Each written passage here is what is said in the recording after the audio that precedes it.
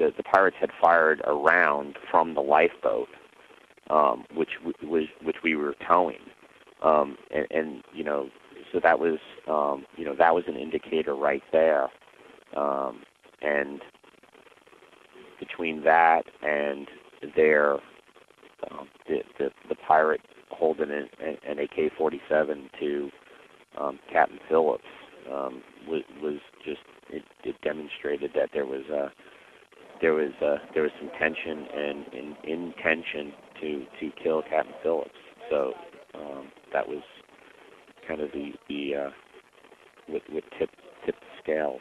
It, it has seemed that traditionally the the the purpose of um, the the pirates um, and and was is is all a biz, is a, a business to make money for themselves.